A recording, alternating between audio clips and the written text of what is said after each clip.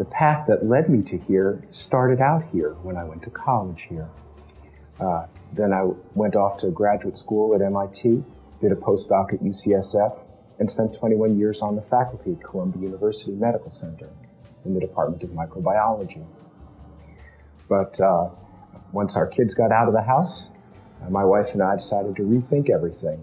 And one of the things that uh, we thought about doing was moving. And uh, Carnegie Mellon offered uh, enormous benefits in terms of interdisciplinary interactions, computational biology, uh, genetics and genomics, and so it was an easy decision.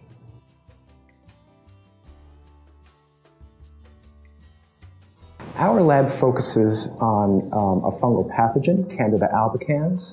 That's uh, the major fungal pathogen of humans. It causes both mucosal and deep tissue infections. Its uh, infections are lethal for somewhere between 10 and 30,000 Americans per year. And our focus is uh, in various aspects of biology and genetics that are relevant to understanding pathogenicity and drug resistance. So, for example, one major area of study in the lab is how these cells form biofilms, because that is a major route of infection uh, on the surface of implanted medical devices. Another major focus is how uh, cells interact with the oral mucosa and uh, with deep tissues.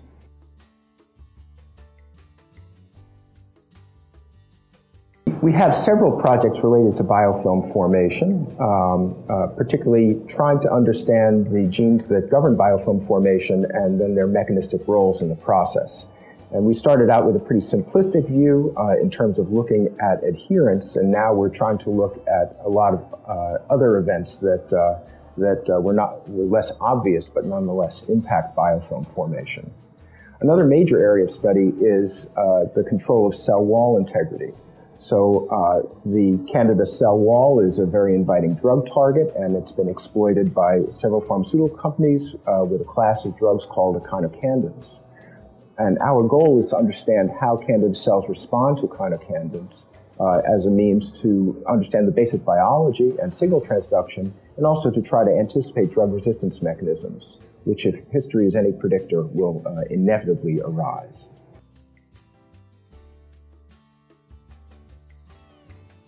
Right now, there are six postdocs, two technicians, one graduate student, and um, three undergraduates who show up once in a while.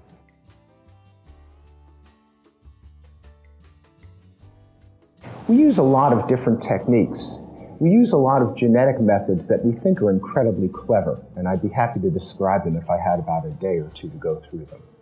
We also use a fair bit of uh, microscopy and imaging uh, we do a lot of gene expression analyses. Much of that is uh, in collaboration with a group at uh, Montreal uh, uh, that carries out microarray analyses for us. And we have some in-house methods that we use as well.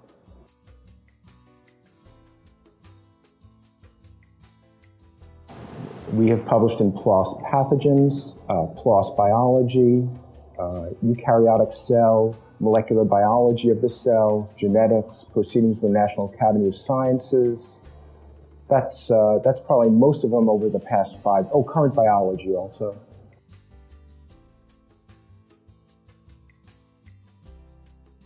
Um, we typically everyone go in the lab goes to at least one conference a year. Uh, we uh, typically attend as a group the uh, Candida and Candidiasis Conference, which occurs every other year. There's also a Gordon Conference on, um, on fungal genetics. There's an Asilomar fungal genetics meeting that uh, takes place uh, every other year. There's the American Society for Microbiology meeting, the microbial pathogenesis meeting at Cold Spring Harbor every other year.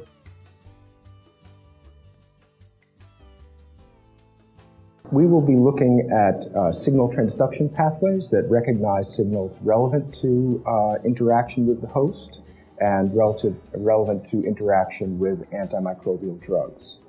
I hope that we will be able to develop some, at least, uh, strategies to identify therapeutics that target Candida albicans, uh, both um, based on cell wall properties as well as based on uh, biofilm growth. Um, and I guess the most important thing that I tell everybody in the lab is to make sure that they are having the best time that they possibly can and doing something that they feel is exceptionally important. And if neither of those boxes, or if even one of those boxes is not checked, then they need to be rethinking what they're doing.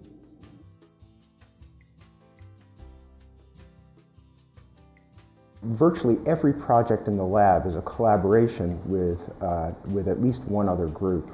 Uh, for example, uh, one of my long-term collaborators is Scott Filler, an MD at Harbor UCLA Medical Center who has developed superlative uh, infection models for both oral and disseminated infections with Candida. And also we share an interest in adherence mechanisms as well, so we've interacted a lot over the years.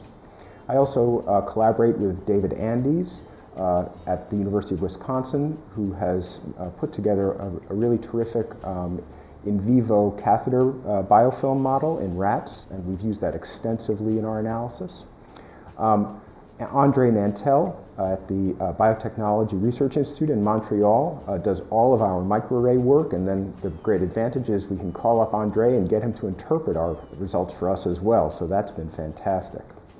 Um, I, uh, closer to home, I collaborate with Bob Murphy, uh, in this department on um, a protein-protein interaction assay based on a visual readout.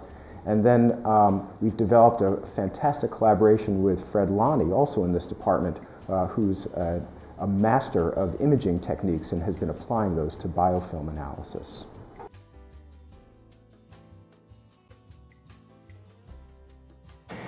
My lab alumni have gone on to uh, diverse careers.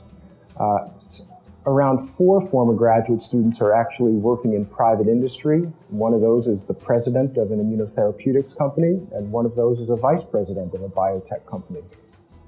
Um, I have about four former students who are now who now have academic positions.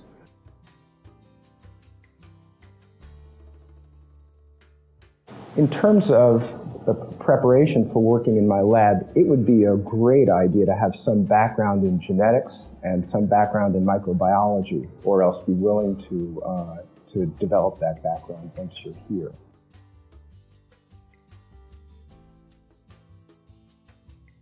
Students who are interested in uh, getting a PhD in this field should really be thinking ahead about five or ten years. And it's, it's hard to do, but it's good to get started when you're young not just to think about what's the immediate question that's so important, but where is the field moving? What's going to be important in five years? It actually takes a while to get some experiments done.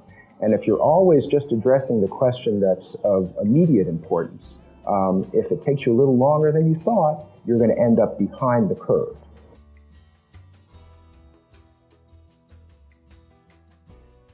I think we have uh, a really terrific environment uh, with a high level of collegiality and interaction among labs.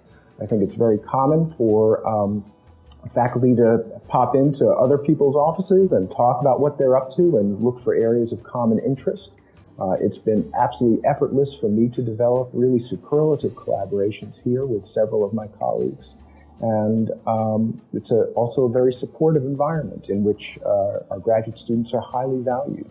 Their training is of paramount importance. Their professional success is a major investment of our time and energy.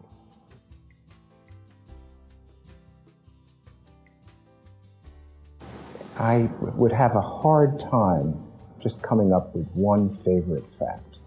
But I can tell you one thing that I enjoy thinking about, which is that in 1975, I took a genetics course here that got me interested in science and in pursuing a scientific career.